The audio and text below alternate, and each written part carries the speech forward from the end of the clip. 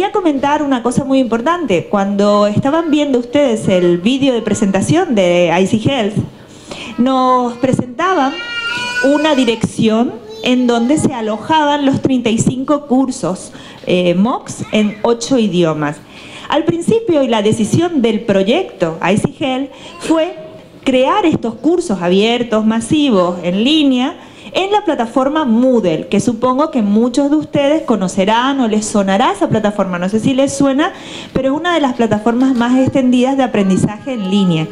Sin embargo, cuando eh, una vez finalizado lo que es la puesta en marcha y todos los paquetes que conllevaban la realización del proyecto, nosotros hemos tomado la decisión de mejorar los contenidos, adaptar los contenidos a una plataforma de MOOC o MOOC específica que es OpenEDX, que es la plataforma de la Universidad de La Laguna. Y de esta manera lo que hemos hecho fue trasladar los contenidos de los MOOCs en español, los nuestros, los creados por la, el Servicio Canario de Salud y, el, y la Universidad de La Laguna, y los hemos puesto a disposición de toda la comunidad, y por eso están hoy ustedes aquí, para que puedan experimentar, utilizarlos y formarse, y esto quede en abierto. Bueno, a muchos, no sé si alguno eh, de ustedes ha, realizado algún curso eh, MOOC, la la, digamos, la diferencia con otros cursos de formación en línea, que a veces se hacen, incluso la eh, Consejería de Educación realiza su formación de todo su profesorado en la plataforma Moodle, ¿no? Suelen ser, eh, suelen ser cerrados, no suelen ser abiertos, pero los MOOC son aprendizaje en línea, pero también son en abierto. ¿Y esto qué significa? Que yo me puedo conectar desde cualquier lugar, en cualquier momento, pero al mismo tiempo la matrícula es libre, es gratuita, ¿vale? Y también hay otra, hay otra cuestión muy importante de poder alojar estos cursos en nuestra plataforma, que es la posibilidad de certificación.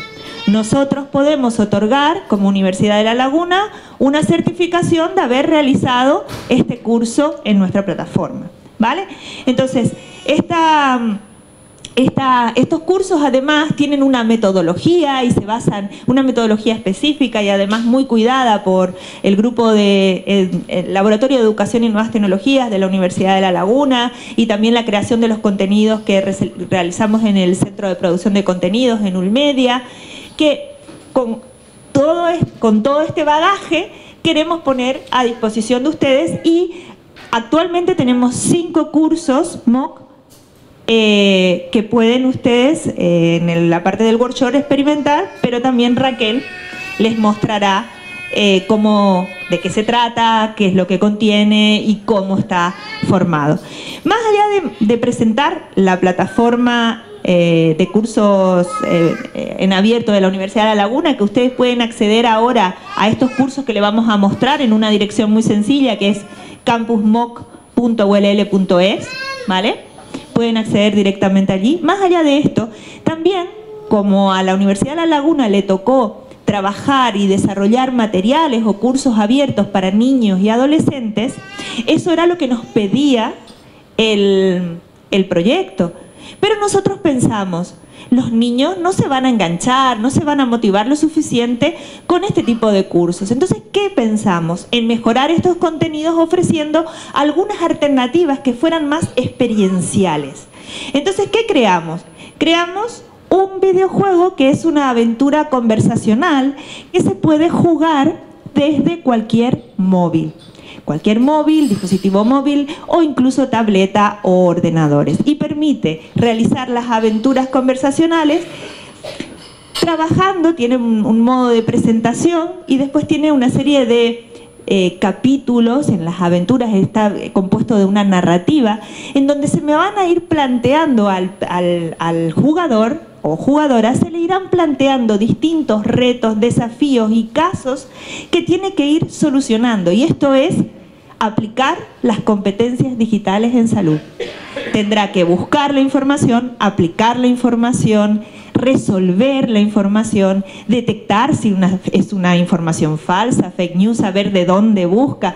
Todo esto conversando con lo que ahora sabemos que nuestros niños y adolescentes utilizan muchísimo, que son los smartphones. Esto está pensado para niños entre 10 y 14 años, aunque trabajamos también para 18 y, lo hemos ya probado con jugadores que se han enganchado, porque el, el, secreto de esto está en el enganche. Yo no puedo develarles a ustedes la historia, porque si no, pues no los engancharía. Eso sí, para cada uno es algo personalizado y también permite las aventuras en grupo.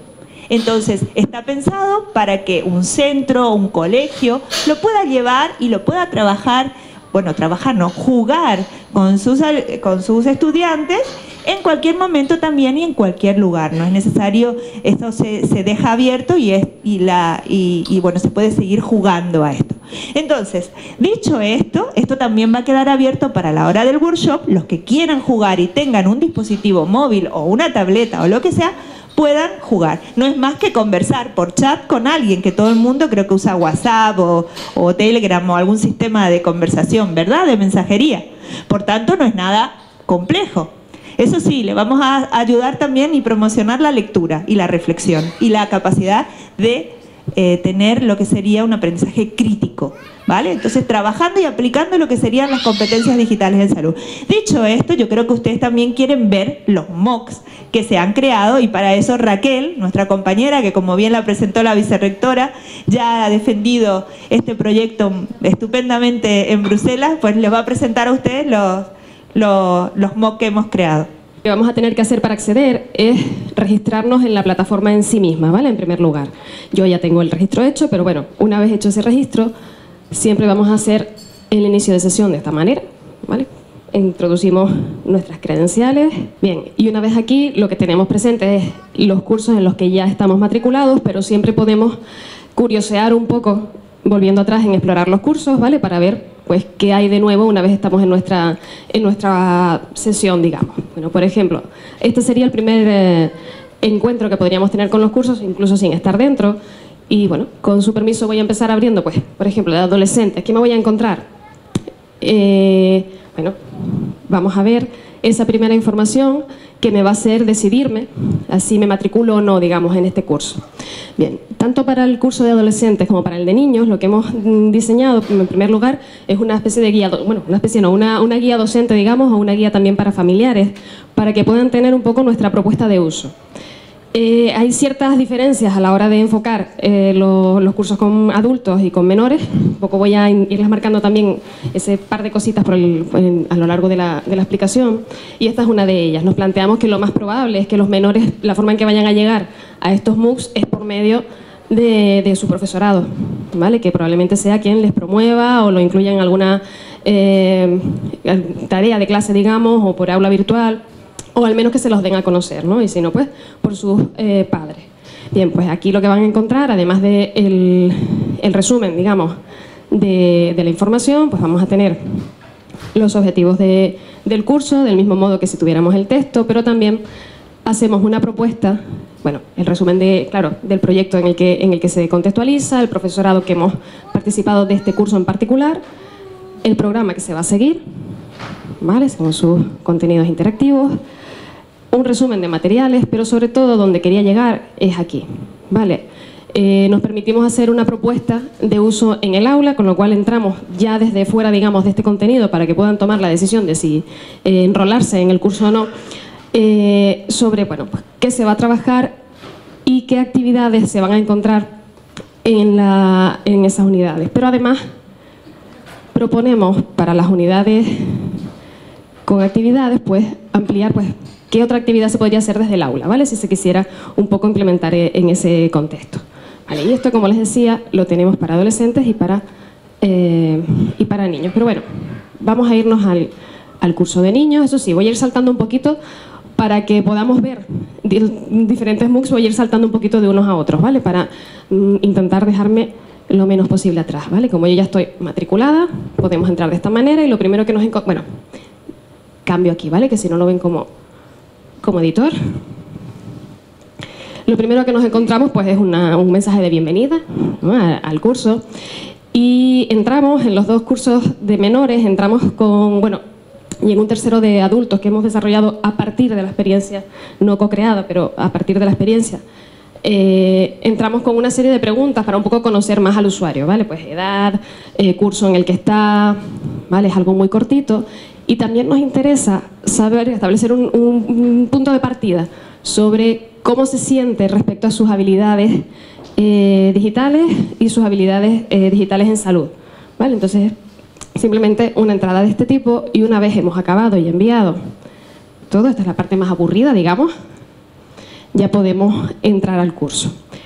La estructura de los cursos es similar, ¿vale? Con lo cual, aquí nos vamos a encontrar este menú interactivo, desde el cual podemos eh, tener acceso a cada uno de los módulos que integra cada curso. Todos los cursos comienzan con una introducción, en este caso pues podemos abrir aquí. Para los menores tenemos una introducción en un vídeo muy cortito animado que les cuenta los objetivos a los que está destinado el curso. Y bueno, pues eh, alguna opción un poco menos animada, digamos, para ver los objetivos por escrito, ¿vale? Si queremos simplemente repasarlos sin tener que pasar por el vídeo. Y una infografía con el, con el índice, ¿vale? Con el recorrido que vamos a hacer. Hemos intentado trabajar con toda eh, la interactividad posible, al menos en menores y, y adolescentes, además de otra cuestión, y es que hemos intentado tener la menor cantidad de texto posible, no porque tengamos nada contra la lectura, ya se los aseguro, sino porque las comunidades de prácticas de menores era una de las cuestiones que nos pedían. ¿vale? Son consumidores de información media más que, más que de, cuestiones de lectoescritura. En el módulo 1, bueno, han visto que he navegado en horizontal, digamos, ahora les muestro que también podríamos, en el apartado de inicio, podemos volver a nuestro menú principal si queremos avanzar de esta otra manera. Pero en este menú, me voy a permitir ponerles algunos vídeos o algunos pedacitos de vídeos, ¿vale? Para que podamos ver también este apartado. Y siempre comenzamos, eh, después de introducir los objetivos, contando, bueno, algunas cuestiones definitorias sobre alfabetización digital en salud. ¿Vale? Ya nos comentaba ahora Manuel, eh, ahora, pues, estos contenidos. Eh, cae la casualidad de que en el curso de niños y adolescentes también es Manuel quien nos lo presenta, ¿vale? Pero se los, se los pongo un poco para que podamos verlo que debes formarte y aprender a ser una persona que sabe hacer un uso útil de la información sobre salud que existe en Internet. A esto se le denomina ser alfabeto digital en salud. Básicamente, ¿en qué consiste? En saber buscar la información que necesito para cuidar mi salud, saber analizar y comprender la información que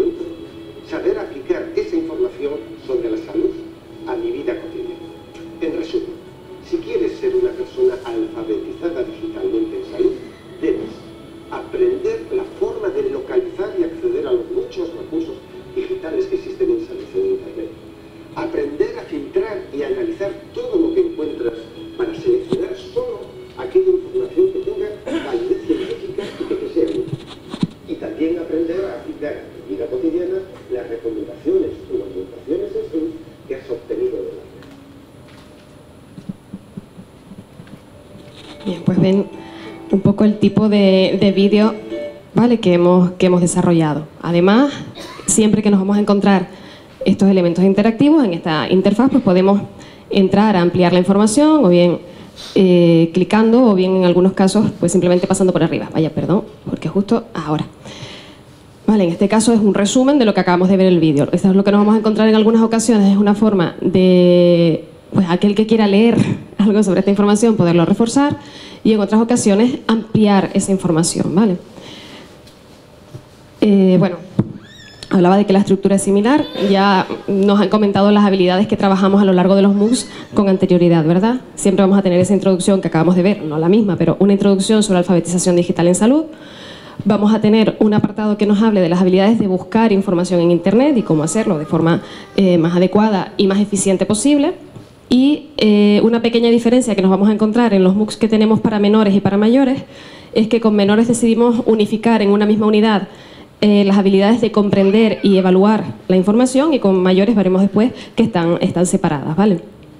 Eh, y una vez acabamos estas unidades pasaríamos a la de aplicar, ¿vale? Como vemos, veremos un poquito más adelante, pero ya me adelanto que esa es la parte general.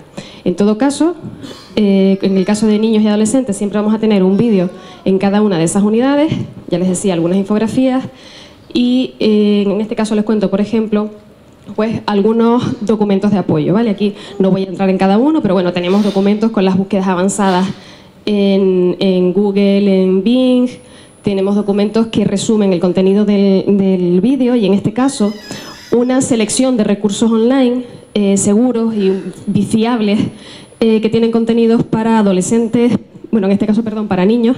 Hay uno similar en adolescentes.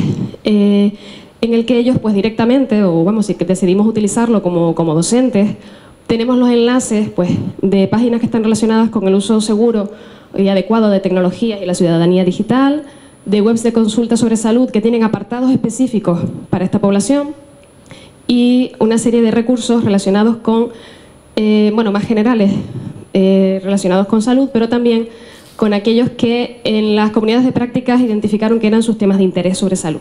¿vale? Alimentación, en el caso de los niños, y hábitos de vida saludables, salud mental. Con adolescentes, por ejemplo, tenemos además pues, las relaciones afectivos sexuales y, y actividad física. Vale. Bueno, esto es el módulo 3 en, en, en este curso. Por ejemplo, tenemos eh, bueno, antes hablábamos, primero diseñamos los MOOCs, hicimos una especie de, una especie, no, vamos, una puesta a prueba para poder refinar esos, esos MOOCs. Bueno, en este caso, por ejemplo, eh, los chicos habían decidido que querían tener un tutorial, el tutorial cuando lo vieron les resultó demasiado largo y hicimos una adaptación y lo que tenemos ahora son micro, micro, mensajes, ¿verdad? Tienen 12 consejos muy cortitos, son vídeos pues de 15 segundos, de 30 segundos en función del que sea, en el que les explicamos cada uno de los pasos, ¿vale? Y es un poco el ejemplo de ese proceso de, de, cribado, ¿vale? O sea, si, si, si clicamos en alguno de ellos, pues bueno, tenemos, en este caso por ejemplo, son 13 segundines de nada en el que les contamos cómo evaluar la información. damos la entrada y el primer consejo. No te quedes con información única, comparable. Vale, y ya, o sea, y no van a tener nada más de, de distracción. Eh, algo que no les he contado también, que vamos a encontrarnos en cada módulo, en cualquiera de los MOOCs que vamos a ver, pues actividades, ¿vale? Siempre vamos a tener una actividad, si seguimos el enlace del practiquemos, vamos a ir a la plataforma inicial y, por ejemplo, en este caso, pues tenemos una tarea en la que los chicos les pedimos que comparen para poder poner a prueba eh, la fiabilidad de esta información o de estas páginas web, una primera web en la que tenemos aquí una, una captura, digamos, en toda su extensión para asegurarnos de que eh, lo que vayan a ver los chicos sean exactamente lo que nosotros estamos analizando, sino las páginas web son dinámicas, encontrarían otros contenidos y una segunda página web con la que van a tener que comparar. Y lo que hacemos en esta actividad en particular es ir eh, guiándolos en el análisis de los contenidos para poder llegar a la conclusión de si es fiable o no. De forma que tienen, pues, cuál de las dos webs tiene mejor apariencia. Y en el desplegable, pues, las opciones que consideremos. Eh, estas actividades son interesantes especialmente porque eh, son actividades de aprendizaje. O sea, en cada ocasión ellos van a tener el feedback para saber si lo han hecho bien o no y sobre todo para saber cuál habría sido la respuesta más adecuada. ¿Vale? Con sus explicaciones, capturas de pantalla en algunos casos. Vale, y volvemos a la página principal.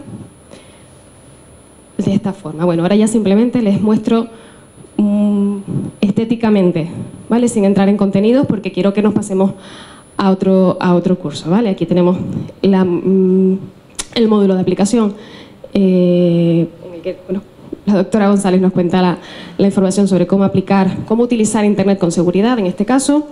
Y finalmente vamos a tener un resumen, en el caso de niños y adolescentes, un resumen en forma de infografía con los consejos principales, digamos, en cada uno de los apartados para, una de las, cada, para cada una de las habilidades y el resumen de qué es cada una de esas habilidades. ¿Vale? Además, tenemos los enlaces a la, a la evaluación final, que la, estamos, la hemos colocado en el caso de, de niños y adolescentes, la hemos mantenido, eh, en la que sí que van a encontrarse preguntas, esta vez de evaluación, un poco de, vale, ¿cómo, ¿cómo, han sido los resultados? ¿He aprendido o no he aprendido? Poniéndote a prueba directamente con preguntas sobre cada una de las habilidades que hemos, que hemos practicado. En cambio, el resto se los cuento ahora con el MOOC de... Vamos al, MOOC de mayores, si les parece. ¿Vale? Es algo... Recuerden que esta era la forma un poco de, de salir a adultos. ¿Vale? En este caso tenemos el resumen, en esa página principal veríamos el resumen de un poco la introducción del curso, los objetivos y el agradecimiento, el reconocimiento a a, las personas que han participado de él. Las compañeras han incluido pues, el listado, un listado de parte de esas personas de las comunidades de práctica que gracias, gracias a las cuales podemos estar presentando aquí hoy estos, estos cursos. ¿vale? Igual comenzaríamos con el cuestionario, me van a permitir que no, que no entre en él, es, básicamente lo mismo que acabamos de ver, y así aprovecho para mostrarles que también podríamos avanzar de esta otra forma, ¿vale? Ya si yo es la segunda vez que entro, porque no tengo que hacer todo el curso en una misma sesión, pues puedo entrar a navegar de esta otra manera y llego al menú principal igualmente, ¿vale? Los MOOCs de adultos, como les decía, tienen, guardamos la misma estructura, una introducción al curso, eh, con un vídeo, pues justamente que contextualiza esta iniciativa, con la infografía en la que se recogen los objetivos, un poco el mismo, la misma estructura que les acabo de comentar, un poco el, ¿vale? ¿Qué me voy a encontrar cuando entro a este curso? ¿vale? Si decido, pues por lo que sea, o bien no ver el vídeo, o le quiero echar un, repaso, o soy más de leer que de escuchar.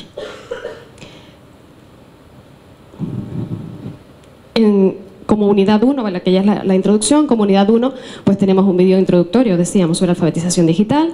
En este caso, además, se, se introduce el proyecto, ¿vale? nos lo comenta eh, Alessandra, y eh, se presenta también una, bueno, un documento, digamos, en el que se recogen los materiales que van a estar después, o sea, que, que nos podremos haber visto o que podemos ver después en el curso, ¿vale? perdón, en el curso, en el, en el vídeo, ¿vale? Con lo cual, este sería algunos de los materiales con los que podemos interactuar, ¿vale? Los podemos seguir de esta manera, eligiendo cuál es el apartado que queremos eh, leernos, e ir, e ir viendo pues, estos pop-ups que nos aparecen para un poco que no se convierta en una lectura lineal, quizás un poco más clásica. Eh, en cambio, con una de las diferencias que, que les adelantaba ya antes, entre las compañeras que han trabajado con adultos y nosotros que hemos trabajado con menores es que justamente las comunidades de prácticas de adultos eh, a ellas les han pedido tener eh, información escrita que poder leerse, algo que me pueda llevar a casa, algo que me pueda repasar eh, después, bueno, que me pueda llevar a casa.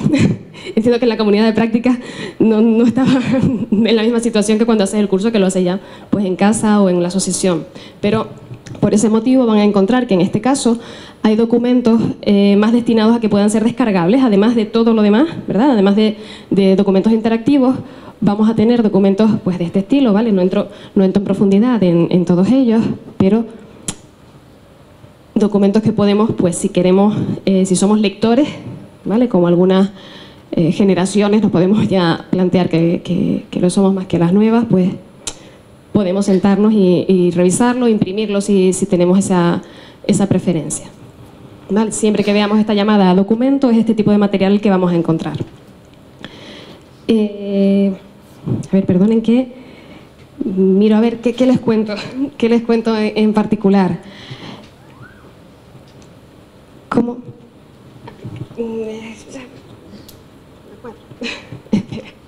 Eh, en este caso eh, tenemos aquí además siempre la, sección de más información, ¿vale? Con texto en algunos casos con eh, infografías como en este caso, por ejemplo. ¿vale? En este caso no tenemos un vídeo destinado a comprender, pero tenemos una infografía y texto que nos lo va, que nos lo va a, ir explicando. ¿vale? Que para comprender la información pues, se recomienda que eh, la leamos con detenimiento, que solamente apliquemos aquella que estamos seguros de haber comprendido. ¿vale? Cuestiones muy de eh, una guía muy práctica para poder tener en cuenta. Y nos vamos a la unidad cuatro destinada a, eh, comprenderle, perdón. Disculpen, pero con esto de que unos lleven una estructura y los otros lleven otra, y yo estoy acostumbrada a la, anterior, me lío, me un poquito, ¿vale? Vamos con la de evaluación. Y eh, en este caso tenemos, pues, por ejemplo, en la sección de ver, algo de información, una estructura de este tipo y, además de las infografías, que nos cuentan, pues nuevamente, cuáles son los pasos que tenemos que llevar a cabo para poder analizar la fiabilidad de la información, un vídeo en el que nos explican, y si les parece pasamos a ver eh, este vídeo, el de Hong Kong, ¿parece? Este es largo, el de final entonces.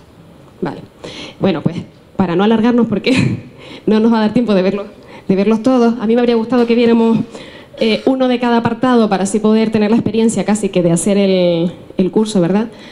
Eh, pero bueno, les muestro un poquito más de, de este, que es el de destinado a personas mayores, ¿vale? Vamos a tener también infografías un poco que nos hacen el recorrido por ese análisis y finalmente podríamos llegar a la tarea, que no hemos mostrado ninguna de este, de, este, de este curso, ¿vale?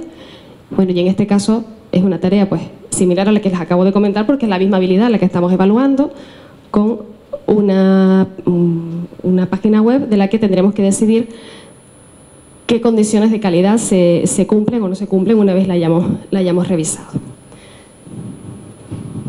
Bien. En la unidad 5 de aplicar, además nos vamos a encontrar, ¿vale? además de todos los contenidos que habríamos que entrar a navegarlos, el enlace para la valoración. Esto también es común a todos los cursos, ¿vale? Siempre nos interesa cuando proponemos un material de este tipo saber qué opina finalmente el usuario de lo que le hemos propuesto y también qué sensación tiene de haber ganado o no eh, en esas habilidades, ¿no? O sea, si se, si se siente ahora más hábil que antes, pues utilizando la, la Internet al servicio de su salud. Y es un poco lo que les vamos a preguntar en este cuestionario de cierre, además de qué opinan sobre el material, si se han cubierto sus expectativas. Y ahora sí, si les parece, vamos con el curso destinado a mujeres embarazadas y lactantes. Salgo. Y intentamos ver un vídeo más en este curso y así dejan de escucharme un rato, ¿vale? Mujeres embarazadas y lactantes habrán, eh, hay dos niveles de cursos, ¿vale? En este caso vamos con el primero, la estructura eh, externa es similar a la anterior que acabamos de ver en este sentido. También tendríamos el cuestionario enlazado de esta manera y lo que nos interesa ahora mismo, que es un poco ver la, la estructura, ¿verdad? La cara de con la que vamos a interactuar. Vale, aquí tenemos la presentación, similar a lo que les acabamos, acabamos de ver, ¿verdad? El vídeo de, de presentación de objetivos, el vídeo de presentación del proyecto y del MOOC en particular, materiales descargables actividades, información y me van a permitir que no entre porque quiero llegar al vídeo de la última unidad. Porque además, ya que hemos estado hablando de por qué alfabetización digital, digamos, dónde, dónde queremos llegar eh, con esto, creo que es interesante eh, que veamos, vale, al final en qué queremos aplicar la información. Queremos, eh, ¿qué significa aplicarla? Vale, pues bueno, aplicarla implica poderla integrar, esa información para la toma de decisiones eh, hacer una buena toma de decisiones informadas, digamos, ¿no? Y al final la utilidad que va a tener, que decíamos, no, pretendemos de ninguna forma que pasemos a ser usuarios que no necesitemos a un profesional sanitario. No somos además los profesionales candidatos a querer que eso suceda. Bueno, pues la forma de aplicar la información sanitaria es muy diversa. Aquí podremos ver un pequeño bocadito de esa información para poder realizar correctamente o mejorar nuestras decisiones las decisiones sobre nuestra salud de forma compartida con nuestro profesional sanitario, cosa que suele contribuir a que nos sintamos mejor, ¿verdad? Bueno, pues además de ver estos apartados, podemos ver los vídeos en los que las compañeras nos cuentan algunos mensajes en este sentido. Y ya me callo. Internet la consulta con el profesional sanitario. Consejos para mujeres embarazadas y lactantes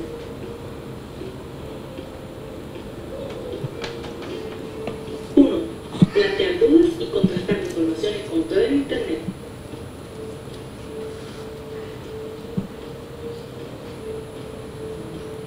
Podemos llevar las búsquedas que hemos realizado en Internet y preguntar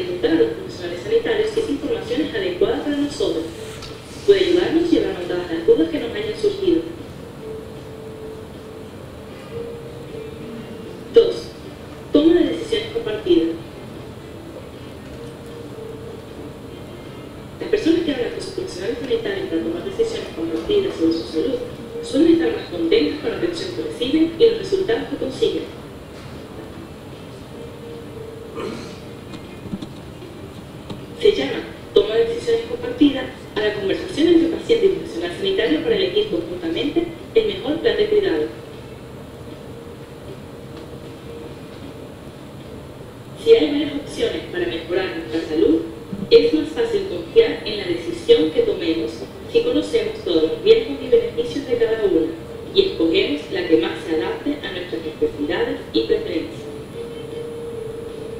Es más fácil confiar en la decisión que tomemos si conocemos todos los riesgos y beneficios de cada una y escogemos la que más se adapte a nuestras necesidades y preferencias.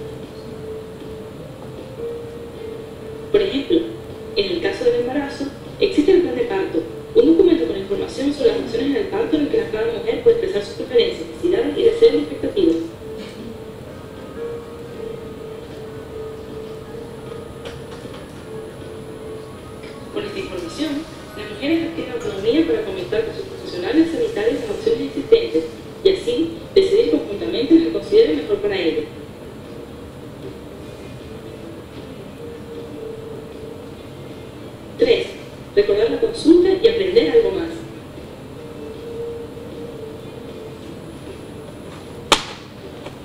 Cuando recibimos información nueva, tendemos a olvidarla.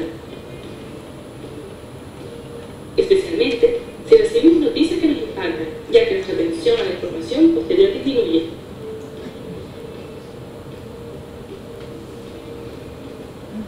Por ello, en la consulta podemos apuntar el diagnóstico, tratamiento o todas aquellas palabras que sean nuevas para nosotros y así poder consultarlas posteriormente.